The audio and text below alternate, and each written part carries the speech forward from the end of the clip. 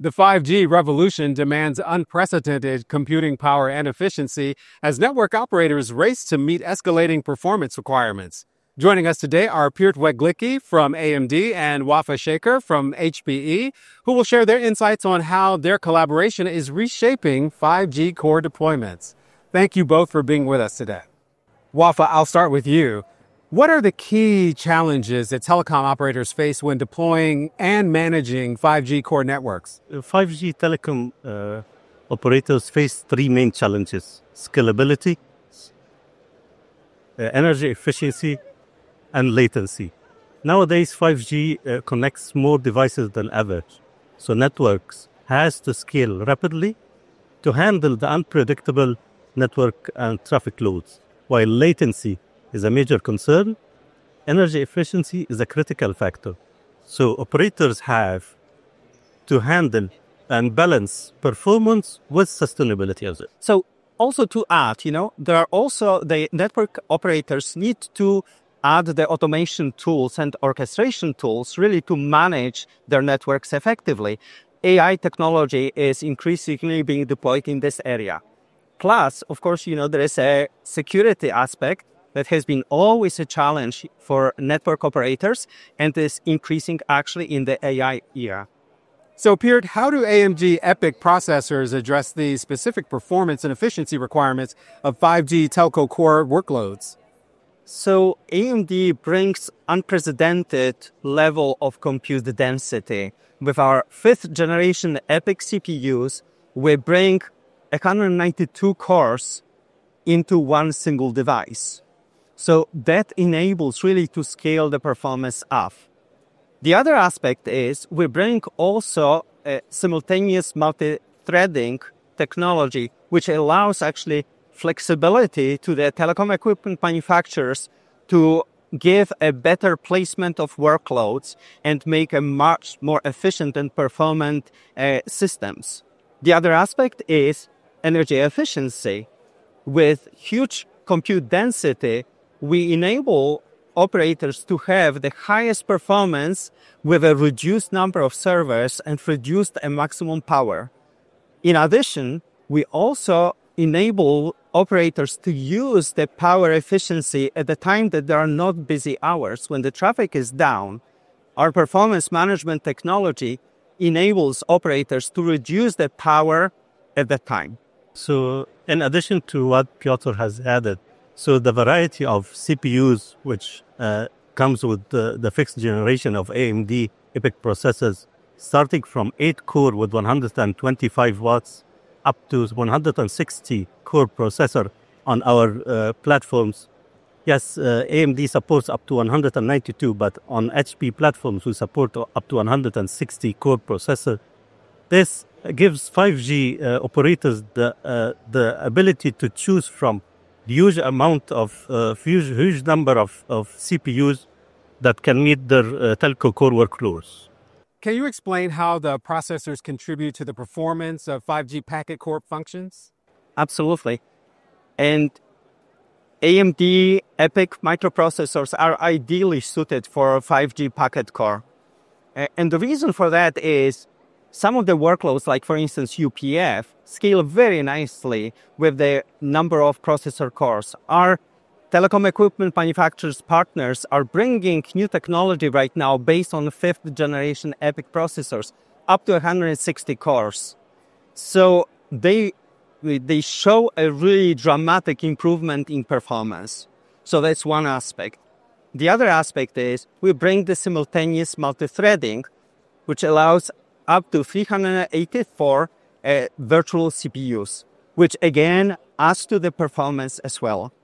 And finally, our I/O performance is is massive. We also support 128 lanes of PCI Gen 5, which gives a massive I/O bandwidth to to the operators. Adding to what has Piotr already said, the 128 lanes gives HPE customers, telco telco customers, I mean, the availability to to balance between NVMe drives on the front of the, the server plus additional uh, I/O network adapters that can handle uh, uh, massive amount of, of workloads from 1 gig, 10 gig, uh, 1025, and 100 gig is fine. So, how does the DL345 provide an optimal platform for running telco core workloads? Uh, so, the HPE uh, DL345, which we are standing in front of it, it is powered by AMD uh, fifth generation. The operators can choose from 8 core processor with 125 watts up to 160 core processor. This uh, gives uh, 5G operators the capability to choose from a huge amount of, of CPU options. The, the server as well uh, is equipped with 12 DIMMs that support uh, up to 3 terabytes of memory uh, to allow the 5G operators to have faster data transfer on the 5G core network. The server is equipped with, uh, with six PCI slots X16, as well as two OCP 3.0. The, these uh, six PCI slots uh, and the OCPs uh, are able to handle 10 uh, gig, 1025, 100 gig, and even 200 gig network interface cards. This is very, very suitable for 5G core use cases. So just to add, what I mentioned about the ability to implement scalable solutions from 8 core up to 160 cores. And of course, the power will be scaling accordingly as well. But there is also one more feature that is very important for the uh, operators. The fact that uh, AMD supports the configurable power, which means that the customer can decide whether they want to uh, prioritize power or performance it could be the case that they will say, well, you know, I don't need to run the course up to 100%, uh, and its power is more important for me. Therefore, they can configure in the BIOS an option that the processor will be running at a lower power. But it could be also a, a, the other case that customer will say, I really want to have every single ounce of performance out of this, this solution and they will configure it to run at a higher TDP uh, than our default TDP. So, what unique features of the DL345 make it particularly well suited for handling the demands of 5G core networks?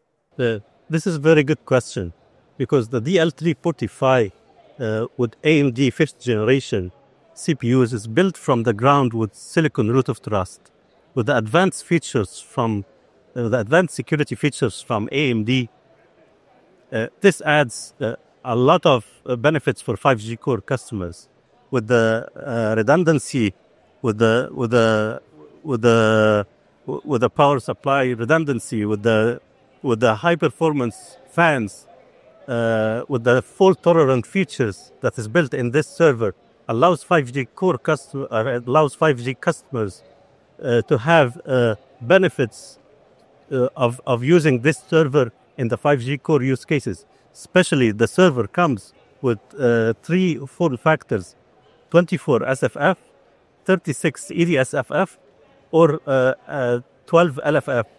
The server also supports uh, four single wide GPUs or two double wide GPUs.